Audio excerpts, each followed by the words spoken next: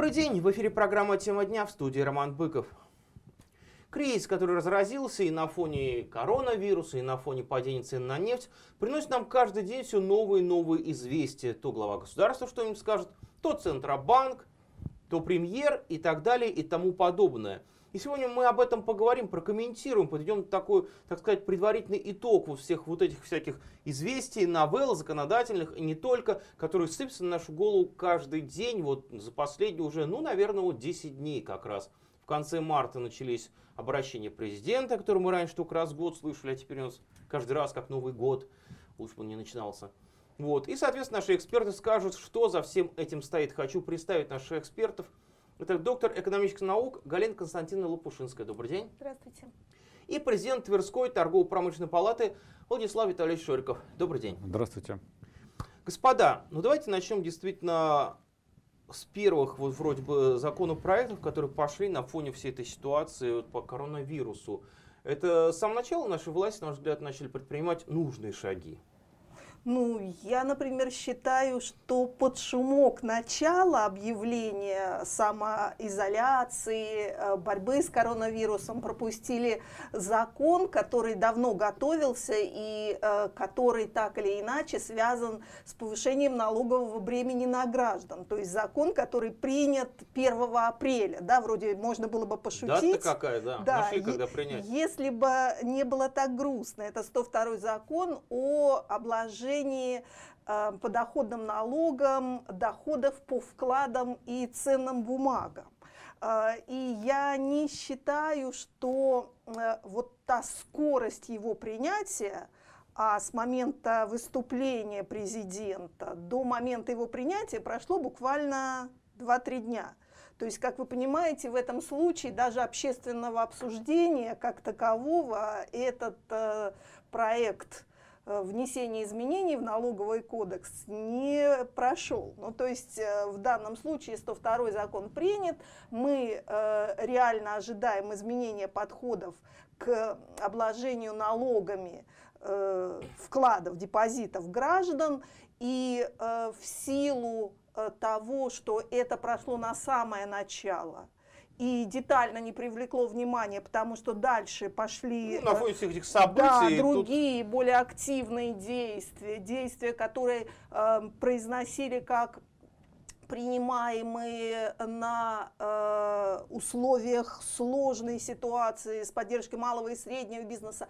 Этот закон просто, э, ну, как бы прошел мимо да, а что не закон? Давайте расскажем тем телезрителям, мимо которых он прошел. А, это очень э, понятная схема, которая э, принята так, знаете, и которая... Звучит как схема в скобках отъема денег. Схема уплаты налогов, да, да, схема уплаты налогов, с которой столкнутся наши граждане, которые имеют э, счет в банке. Э, Какой? Это счет, э, ну, в принципе, это практически любой, за исключением двух счетов, на которые схема не распространяется налогообложения ну, дополнительного. Это тот, который зарплатный, ну, у него и, э, в принципе, процент, который начисляется по вкладу, 1%, то есть очень маленький. И э, счета escrow – это счета, которые используют дольщики при долевом строительстве, да, когда это э, аккумулирование средств под э, выплату строительной компании, ну, но да, только да, в да. случае, когда квартира будет сдана и так далее, и так далее. А все остальные вклады у нас попадают под механизм дополнительного налогообложения. А какой? Понятно, что э, сам механизм вводится с 1 января 2021 э, года. То есть уплата налогов пойдет э, в 2022 году. Но чтобы это не было неожиданностью, надо понимать, что на все счета свыше миллиона угу. э, дается так называемый бонус на процент. Бонус, с которого налог браться не будет. А, он определяется ставкой Центробанка на 1 января года, за который ты получаешь проценты. Ну, например, на 1 января 2020 года ставка Центробанка была 6%. И вот эти пресловутые разговоры про 60 тысяч необлагаемых налогом, которые получает э, собственник вклада, это как раз вот с этими 6% и связано. Если Центробанк на 1 января 2021 года покажет э, ставку, то есть примет ставку, э, предположим, 5%, то бонусная величина, не облагаемая налогом, доход, э, будет 50 тысяч. А при этом мы понимаем, что ставка в течение этого года может существенно плавать. Но нас интересует зафиксированная на 1 января. Что получается? Если у вас вклад на миллион, Да. и вы в течение года получаете от банка начисление по этому вкладу до 60 тысяч, вы не будете платить дополнительные налоги. Но если у вас выплаты превысили 60 тысяч, то со всей суммы превышения вы заплатите еще дополнительные 13%. Э, То есть в этом случае абсолютно точно у вас ставка, даже если вдруг она установлена 6%, для вас после уплаты налога будет всего 5,2. Потому что 7 800, если я вот беру там 60 тысяч, вы заплатите налога. Причем делать это будете со всех своих вкладов. То есть э, раздробить счет и положить, например, а, что-то в ВТБ, что-то в Сбербанк, что-то в Россельхозбанк, что-то в Райфайзен, что-то в Тинькофф. Можно, но это не приведет к уходу от уплаты Почему? То дополнительного. есть вы хотите сказать, если я миллион рублей разделю на 5 частей, 200, 200, 200 в пяти банках, то не считается? Не считается. То есть государство все равно посчитает мои денежки Абсолютно и скажет, точно. а у тебя миллион-то в разных банках. Просто я как раз вчера читал на эту тему, дескать, как раз вот такая схема, она пройдет, если ты возьмешь два вклада по 500 и все, шито-крыто. Нет, потому что сама, э, сам механизм, он несколько другой. Банки не начисляют налоги и не выступают вашим налоговым агентом. Они подают информацию в налоговую инспекцию. Налоговая инспекция складывает все вместе и получает э, вариант дохода, который вы получили от вкладов. И в этом случае вы сами должны э, обратиться в налоговую и дозаплатить налоги. Потому что выставленные налоги у вас появятся, например, в налоговом кабинете. То есть схема, когда крупный вклад начинает разбиваться на ряд мелких, она ничего, что да, ничего не решит. А, В этом случае даже не сработает схема, которая известна для многих российских семей, когда семья аккумулировала все средства на одном счете, чтобы получить больший процент, да? А теперь что наоборот. да, потому что от большего процента, от большей суммы вклада платят больший Конечно. процент. Теперь это не проходит, но если э, вклады на каждого члена семьи, то каждый член семьи этот бонус и получает. То есть фактически э, один крупный вклад семейный будет в этом случае выгодно дробить по, На сына записать, по его э, ну, к примеру. ну, например, у вас был э, Ну, миллион. один вклад у вас и Да. жены, вы собирали его, а тут вы сделаете 500 на вас, 500 на жену, чтобы не 500 на попасть... сына, 500 на дочку, Да, на чтобы не- жучку и на да, кошку да, да, и так да, далее. чтобы не попасть под, Это как эту, вариант. под эту А схему. вот вы сказали, не, не, подход- не подпадает под это правило зарплатный счет. Да, ну там... Если человек положит на свою зарплатную карту тот самый миллион, он же может это сделать? Он может это сделать, но там невыгодный процент. Ну, да. Процент по закону определен в 1%. Понятно. То есть э, это э, те вклады, на которых банки начисляют 1%. Практически это счет, которым постоянно пользуются. Ну да. Но а, вы знаете, с чем столкнутся еще банки? И это очень тяжелый момент будет. А, Это ситуация, когда граждане не будут вкладывать средства на период, превышающий один финансовый год. Почему? Потому что начисление налогов и уплата их идет на момент их получения. То есть если раньше выгодно было положить, например, на полтора года, ну кто-то решил угу. вот полтора года, чтобы побольше накопить, и э, срочный депозит, проценты начислят, положил он в 2001, а процент начислят в 2002, ну за весь период, да, 2001 и 2002. Все равно будет считаться доход, полученный в 2022, и заплатят со всей суммы налоги, исходя из установленного годового бонуса. То есть банки столкнутся с тем, что на длительный период – будет вкладывать крупные э, депозиты просто невыгодно. А мы сейчас столкнулись с тем, что у нас реклама, буквально три минуты, дорогие телезрители, не переключайтесь, после чего мы продолжим. Мне интересно э, выяснить все-таки, что все-таки в делать нашим гражданам.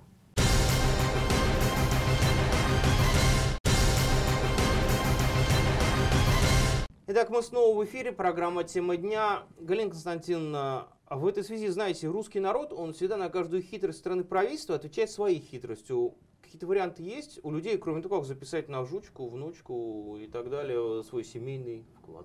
Ну, вот, вот это раз, э, разбиение вклада на членов семьи, это вот тот механизм, который реально виден. А второй механизм не э, вкладывать средства на период длиннее одного финансового года. То есть положил, э, грубо говоря, вклад на год, а потом что, закрыл и положил заново? Да, да, получается, потому что начисленный тебе процент будет э, соотноситься с бонусной суммой, то есть суммой, не облагаемой дополнительным налогом конкретного финансового года.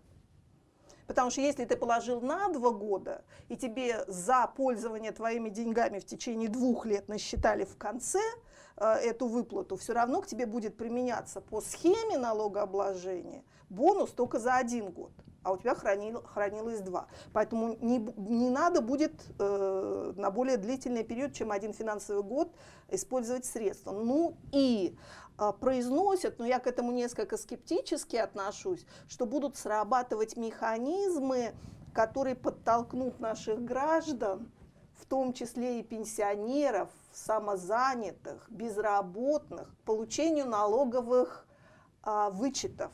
Это в смысле?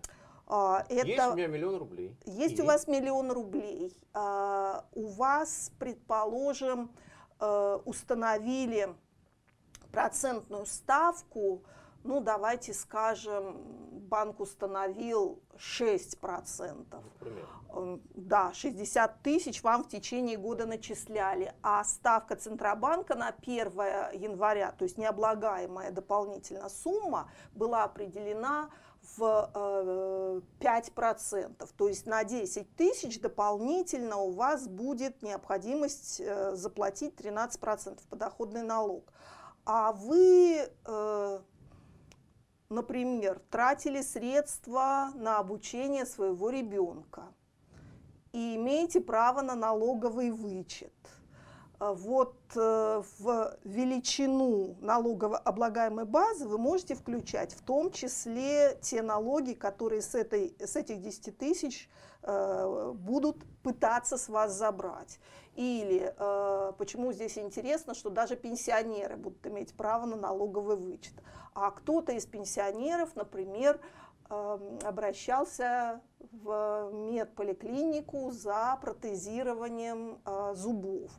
И в этом случае э, средства, которые он тратил, которые имеют право так называемые социальные выплаты, э, налоговые получить, они тоже будут учитывать эти дополнительные доходы, которые получены на вклад.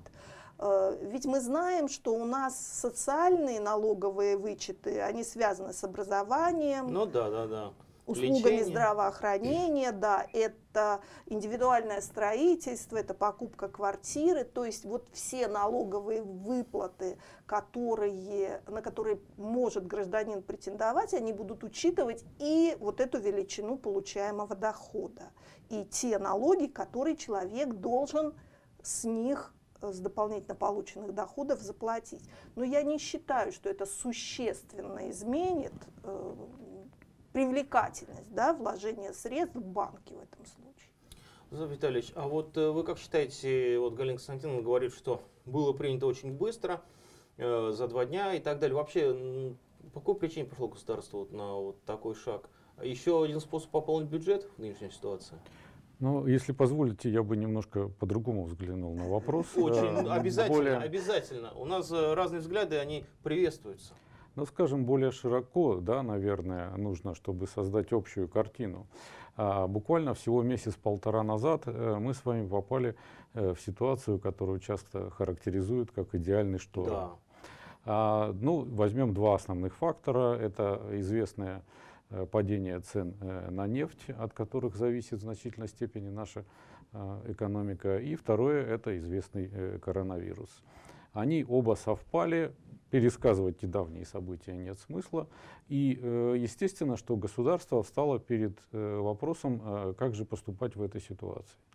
Был предпринят комплекс мер экономических, да, которые должны были в тот момент как-то повлиять или сгладить. Ну, один из этих э, моментов вы только что широко осветили.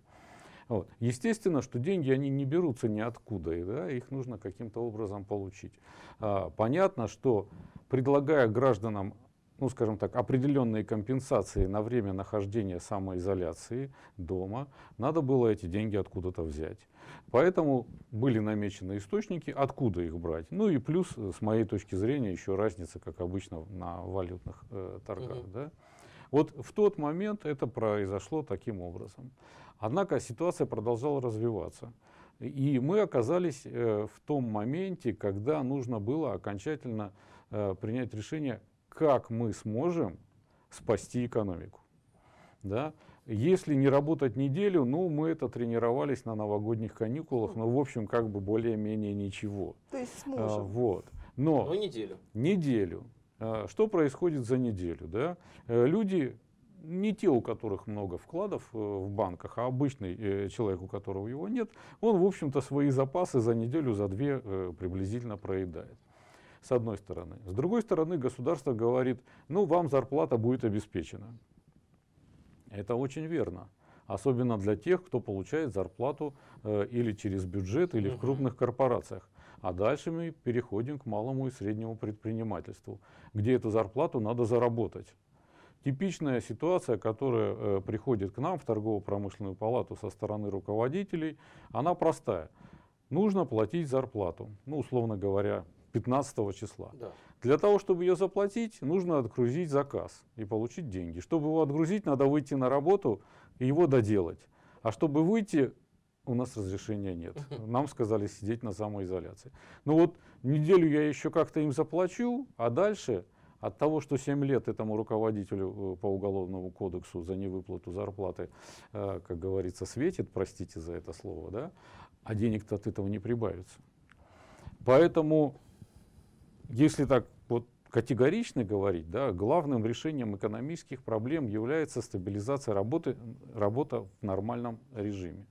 Но с точки зрения, как до нее дожить, есть тот комплекс, который предложило государство, как оно может помочь э, предпринимателям, потому что эта помощь, в конце концов, нацелена на конечных граждан. Вот этот самый гражданин, да, посредством того, что предприниматель, э, на которого он работает, на завод, на предприятие, на фабрику, на офис, не умер экономически в это время, он выходит на работу, начинает работать, получает деньги, идет в продуктовый магазин, и наконец-то вот эта вся цепочка срабатывает.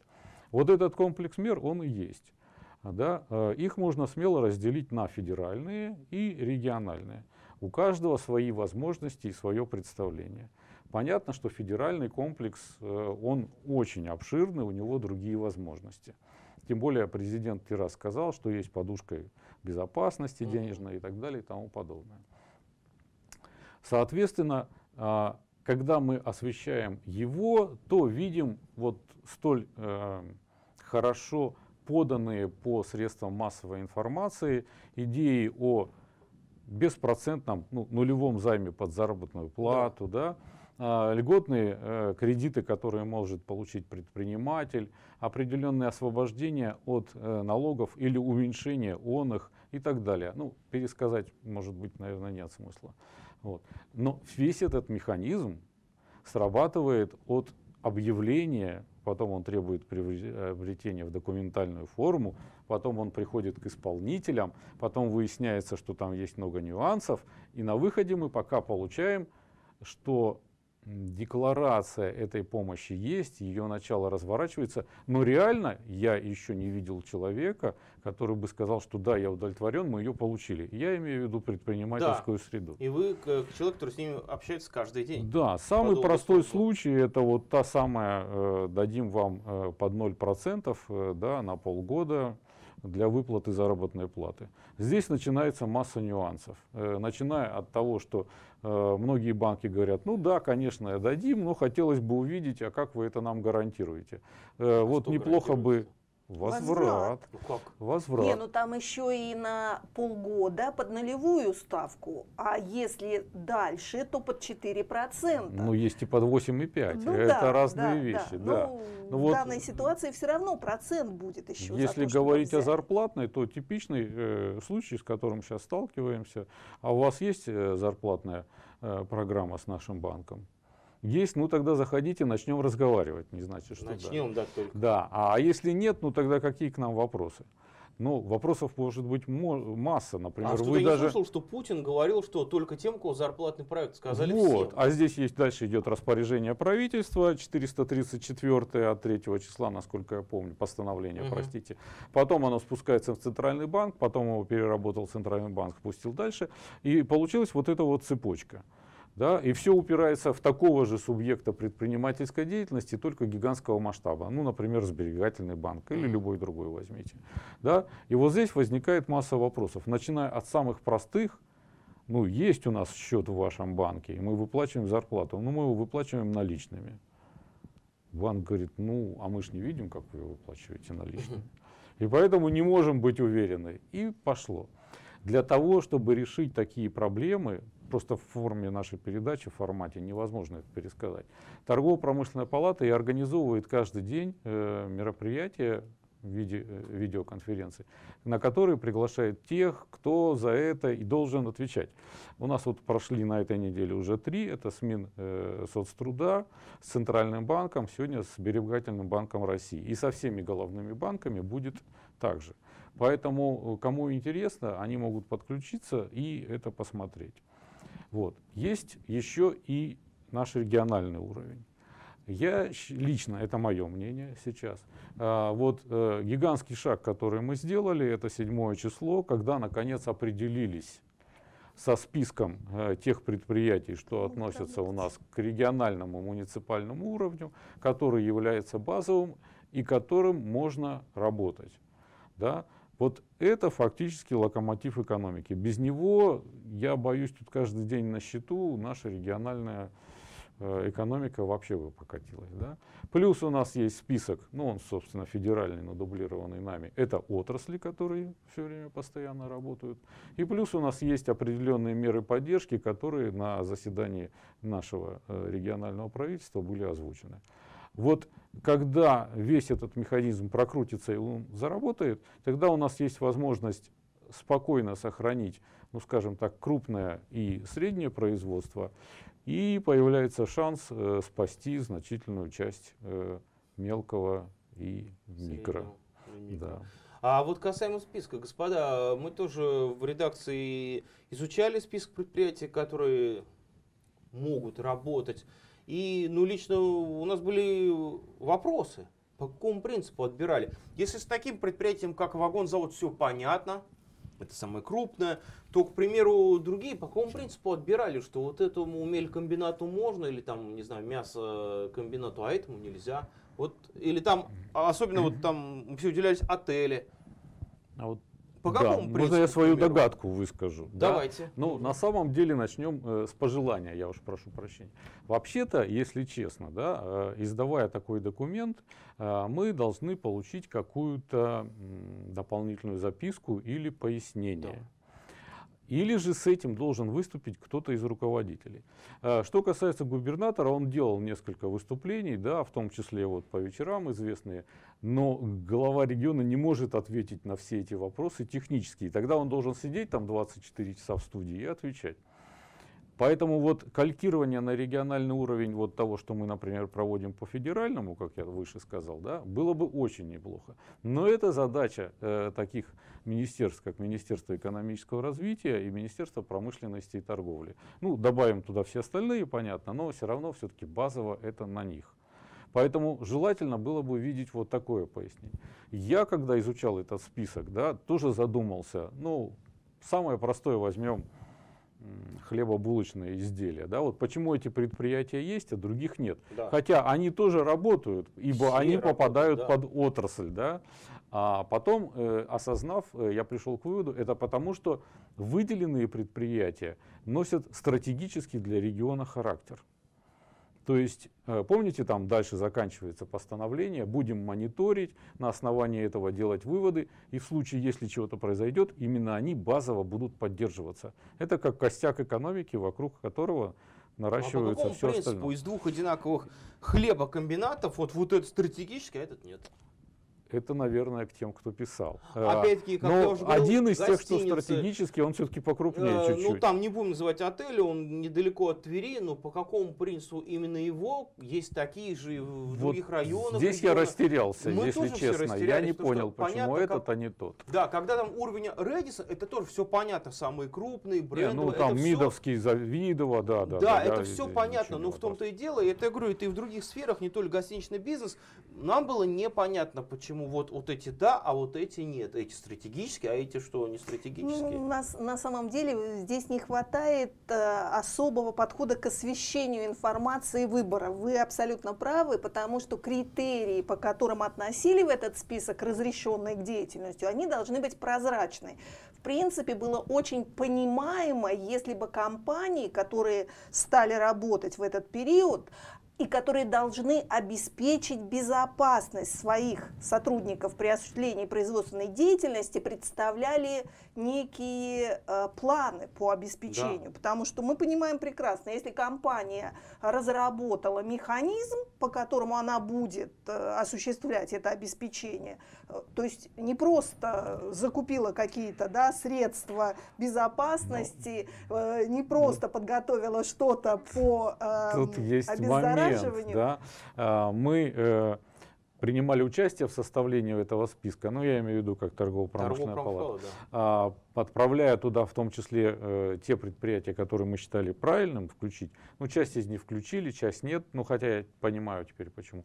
Но каждая из них писала, э, что оно гарантирует вот, самое, вот это самое проведение всех контрольных функций по соблюдению э, ситуации борьбы с коронавирусом. Это есть. Если еще заставить их писать план, но э, поверьте мне, пока они напишут, э, коронавирус уже умрет Нет, вместе не, с экономикой. Не Поэтому думаю, лучше не, не надо. Думаю, вот не они думаю. обеспечивают, да, гарантируют. У многих замкнутые совершенно циклы. Да, то есть на этой территории один вход, один выход. Элементарно там и померить, и обеспечить санитарный надзор и так далее и тому подобное. То есть вот в этом ключе да.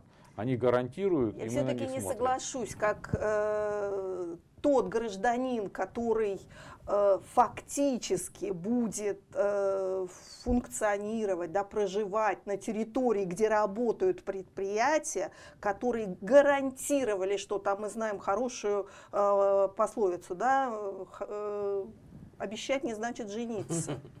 Ну да. Гарантировал на своей территории. Если он написал «я гарантирую», но не представляет, как он это будет делать, ведь план плану рознь. Поэтому выбрали стратегические предприятия, которые легко э, проверить. Там же никто не сказал, что их не будут проверять, да? А, но это крупные организации, это не однодневки и даже не одногодки, а, которые работали и доверия. работают. Я тебе доверяю, значит. Ну, а как у нас принцип самоизоляции? Ну а как он построен вот лично к вам, к вам, ко мне, да? Вот неделю сидеть дома, не выходить, но вам же никто дверь не заварил, чтобы вы не выходили. А, поэтому здесь принцип один и тот же. Ну, все равно я считаю, что когда э, предприятие гарантирует обеспечение безопасности, оно должно представлять, ну, то есть не просто бросаться словами «я гарантирую», оно должно представлять, какие действия будут совершены этим предприятием, на, чтобы, да, На крупных э, предприятиях есть специальные крупных, подразделения, да. которые этим занимаются даже в штатном режиме. Ну, начали там и с Соглашусь. вагонзавода, что Ну, уж там говорить, да, у понятно, них да. там своя... А остальные-то тоже не мелкие, это так кажется только. Ну, понятно, они не сопоставимы с вагонзаводом, но по своим масштабам у них есть и медработники, и соответственно обеспечивающие службы.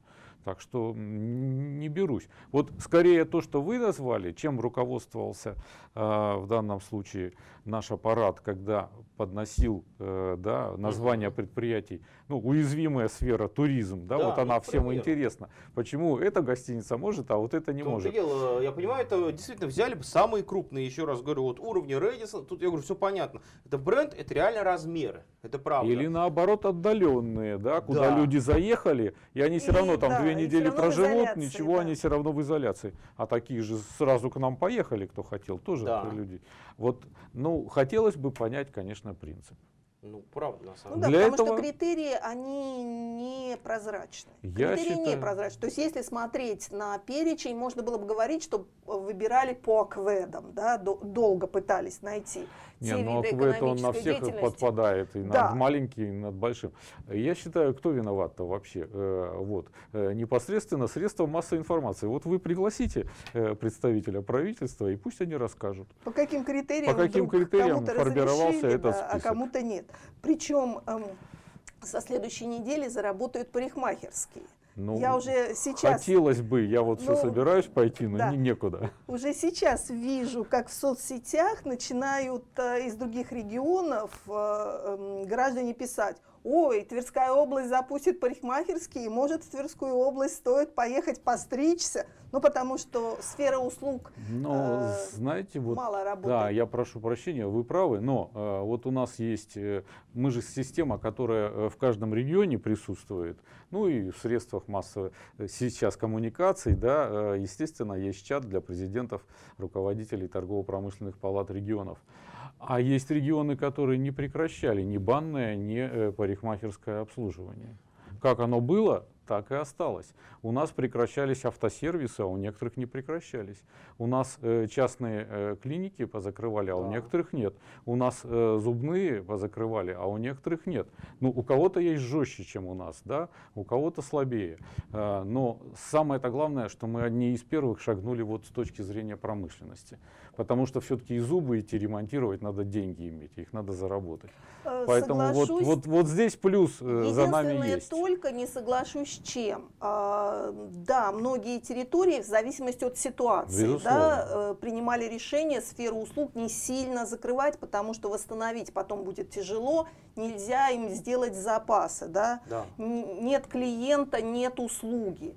Но я считаю, что, возможно, мы э, очень сильно э, ограничили сферу услуг, в частности, частные клиники. Потому что обычно частные компании, наоборот, заботясь о своем имидже, очень аккуратно а, подходят Да, и к дезинфекции, и к обеззараживанию, и к работе с клиентом. То есть в данном И случае... Не в обиду будет сказано э, другим, но часто частная клиника, она, много простите, чище, да, чище, да, да. да. И, Ну, да. и я, ну, это не реклама, не буду называть эти э, частные медицинские заведения, но в- там я заходил в них в обычной ситуации, без всякого коронавируса, а уже вот этот вот разбрызгиватель дезинфицирующих веществ для Везде рук, он стоял, висел да. сразу у входа. Одноразовые приборы все да, были. сразу да. бахилы все одевали и так далее и тому подобное. То есть, ну, чем мы руководствовались, хотелось бы услышать опять. Вот Ну тех, да. кто принимал решение.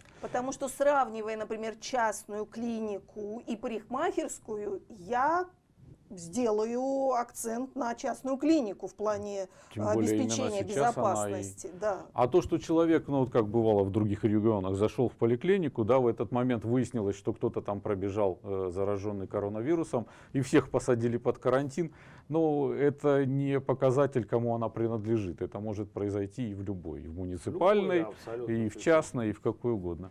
Кстати, насчет списка, э, вот опять говоря о том, что у нас идет постоянный обмен, у кого какие списки, да, кто как э, перешел к этому вопросу, мне что еще немножко, ну не то что удивило, но такой штришок, э, вот у нас э, не э, включили э, вот в этот список организации, которые являются элементами структурной поддержки малого и среднего предпринимательства. а, начиная от фондов э, и ну, завершая той же торгово-промышленной палатой, например. Хотя нам это, в общем-то, не нужно, мы относимся согласно закону к структуре, которая работает, да? А, но, эм, но, но в других регионах, во многих это было сделано, выделено отдельно. И это естественно, как если мы в данный момент стремимся их поддержать, да, как мы отстраним или выключим из списка или не обратим внимания на это. Но, видимо, это наши нюансы, над которыми надо работать. Ну да, потому что это те компании, которые должны работать на разъяснении, особенно когда все меняется, консультировать бизнес, отвечать на многие вопросы, потому что меняется на самом деле все очень быстро сейчас. Да, И- в начале программы, Да. каждый день что-нибудь. И надо понимать, вот как этот человек, да, ну, который арендует, э, предположим, некое э, пространство для того, чтобы вести торговую деятельность в торговом центре или комплексе. Мы же понимаем, э, что он зависит от повседневной э, своей работы. Да? Часто они и в товарных кредитах, и в денежных кредитах, и платить э, за аренду надо, а он является фактически э, последним э, звеном вот в этой пищевой цепочке, да, то есть пока все там прокрутятся, денег заработают и придут к нему тратить на ботинки, и вот он здесь самый крайний, а он самый крайний себя кормит, семью и еще несколько работников, которые у него работают. Вот сейчас фактически основные меры по поддержке, э, которые декларируются, которые начались, они все ориентированы на вот такого человека, которого надо спасти, да, не обязательно А он торговца, спасет остальных. а, но он спасет хотя бы себя, и, кстати, он является налогоплательщиком. Ну да. Откуда деньги-то? Мы их сейчас потратим, их потом собирать надо. э, Вот. А с кого? Если будет э, отсутствовать предпринимательская прослойка в таком мере, ну, соответственно, мы меньше и соберем. Э, Что Причем для предпринимателей сейчас э, сложным является и сама схема выплаты зарплат.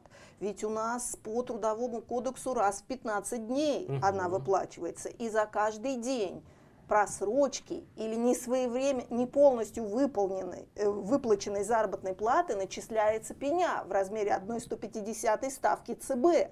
То есть э, даже сейчас, беря кредиты, выплачивая две трети зарплаты, предприниматель через какое-то время может попасть э, под ситуацию, когда не полностью выплаченная заработная плата приведет к возникновению у него на все эти суммы невыплат штрафов и пеней, потому что Совершенно ничего точно. не изменилось.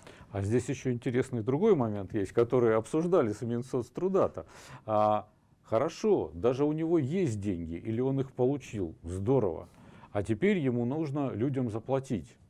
А если он А не- он, если не переводит им на карту, а Да, делает это не наличными, да, не как?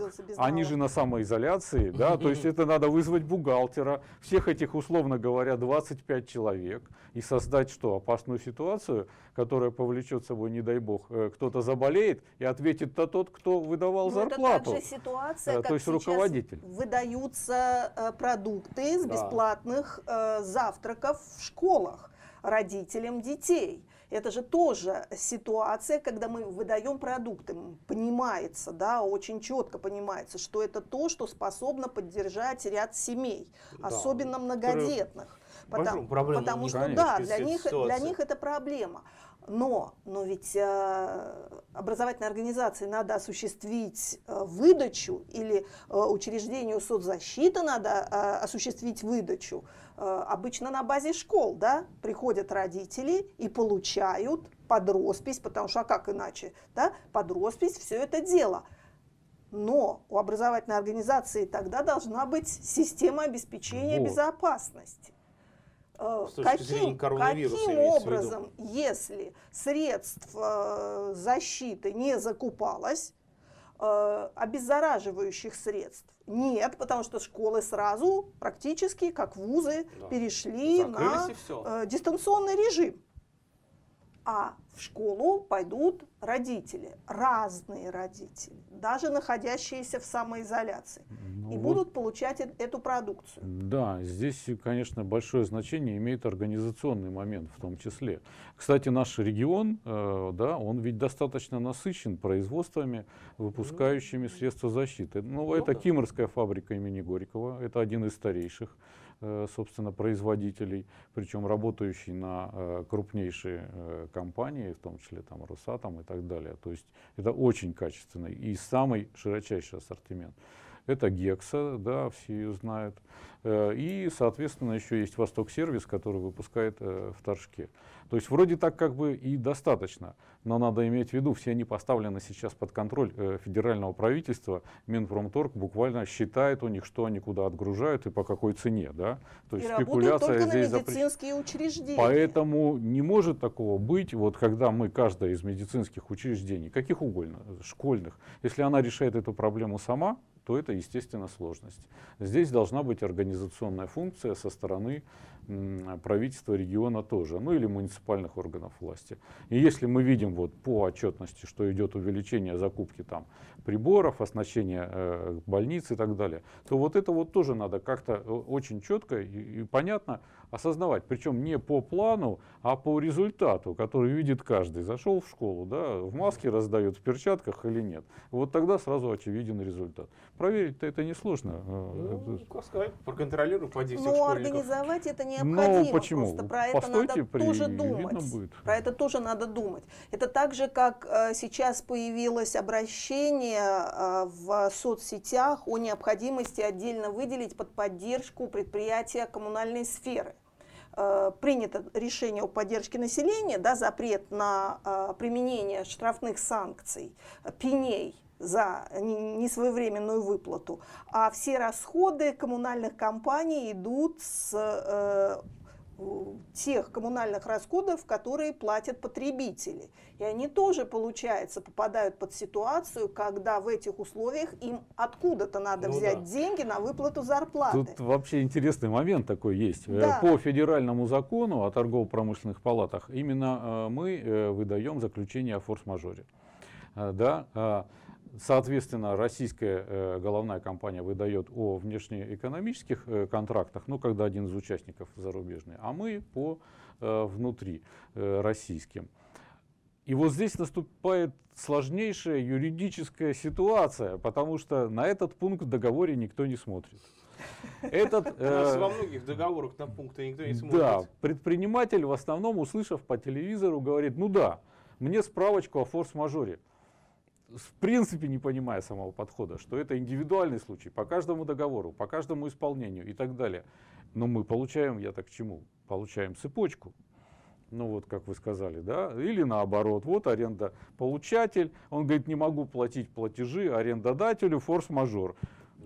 Арендодатель говорит, да я же такой же предприниматель. Да, у меня а мне надо платить за электричество, за тепло, налог на имущество. Кстати, вот хорошо сейчас, просто, только что накануне, да, у нас по налогу на имущество э, есть, э, вводятся сейчас льготы по региону. Да, то есть он говорит, и я такой же.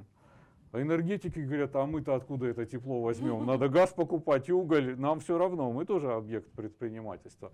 И пошло. То есть выстроено, это замкнутый круг, потому что это экономика. Все зависят друг от друга.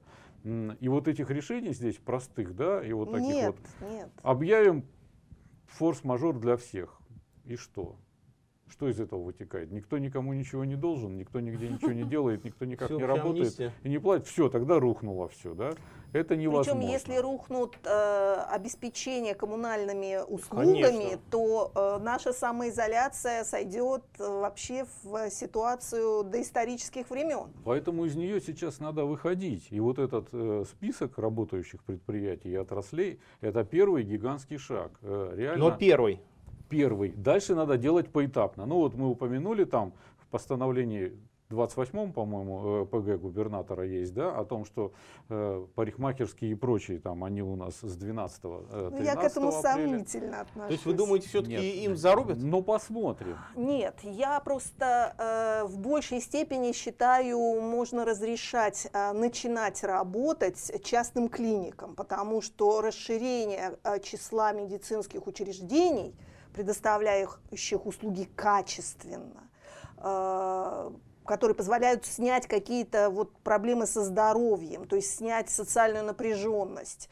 Потому что сидит человек, у него болит зуб. Uh, у нас есть uh, куча частных клиник, которые Совершенно сейчас не работают, которые могли бы хорошо это сделать и убрать эту проблему.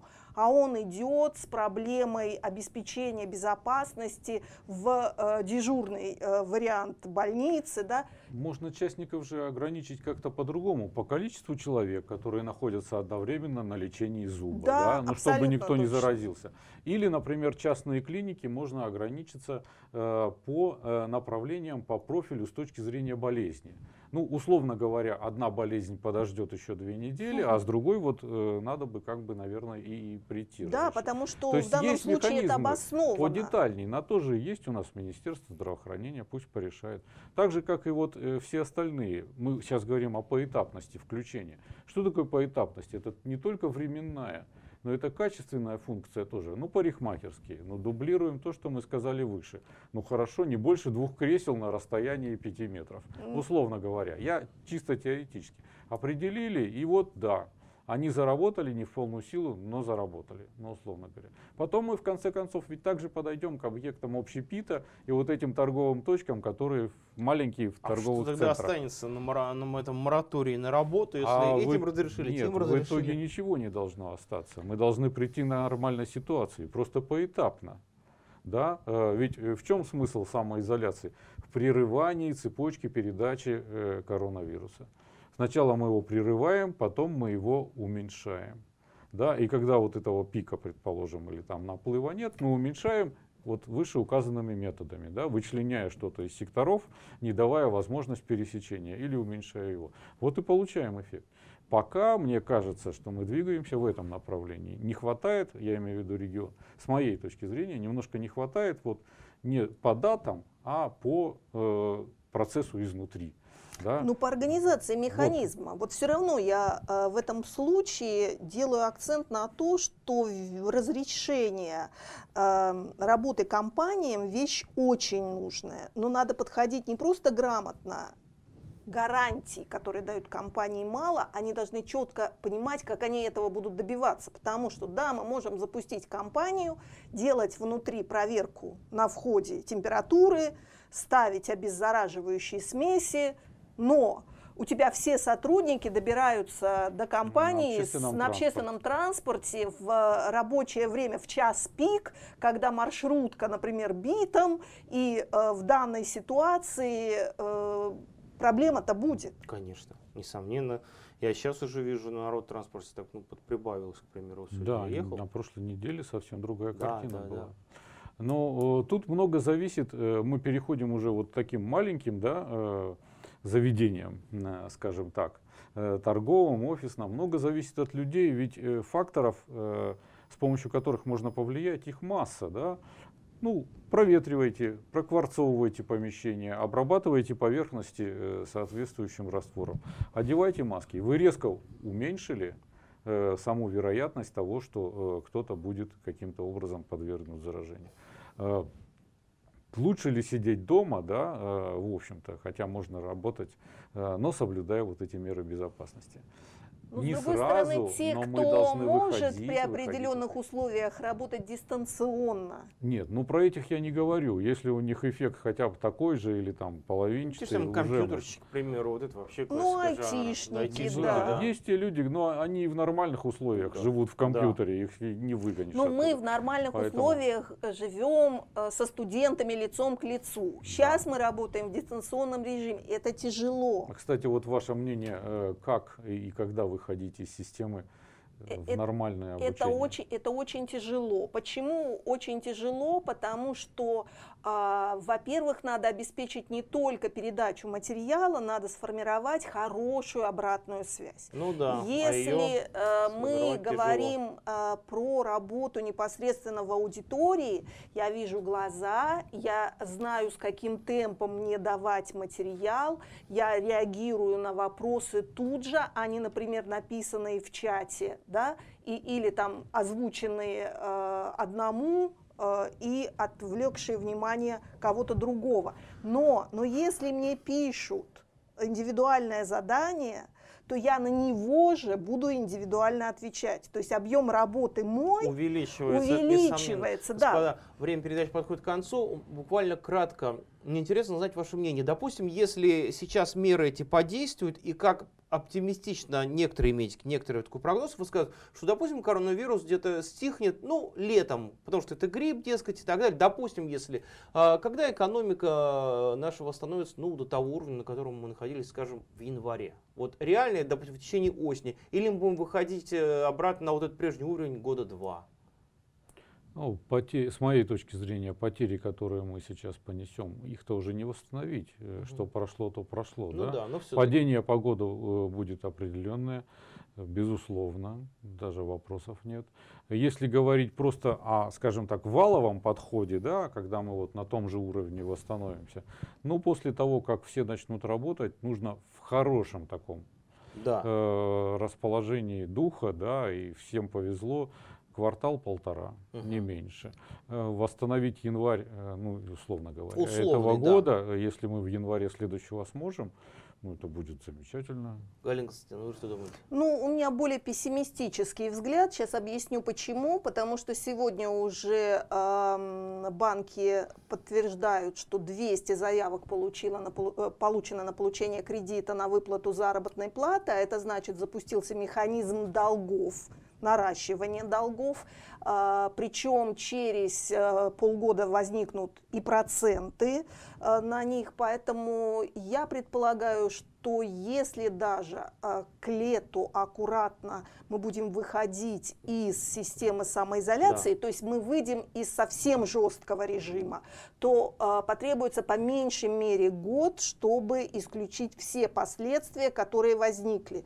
То есть убрать возникшие долги у компаний, э, сохранить какую-то активность малого и среднего бизнеса, выйти на тот уровень рабочих мест, э, которые были созданы до кризиса. Ведь обратите внимание, есть еще обременение сейчас для Да, да, да, бизнеса, да, которое связано, например, с невозможностью увольнения э, лиц Людей. предпенсионного возраста, э, поставленные цели нацпроектов. Все это, вот выйти на ту же базу, на- э, в- с которой мы выходили э, сейчас в режим самоизоляции, в кризисное явление, ну, наверное, где-то год. Ну что ж, спасибо большое. Это была программа «Тема дня». Мы комментировали сегодня все последние новеллы, которые мы слышим от главы государства, Центробанка и так далее. Но заодно вот наши эксперты высказали свой прогноз, что при хорошем стечении обстоятельств, если действительно к лету страна заработает, то последствия всего этого мы расхлебаем. Ну, если через год, это будет очень хорошо. Надеемся, что это произойдет все-таки раньше. Всего вам хорошего, не болейте и не теряйте работу. До свидания. До свидания. До свидания, здоровья всем.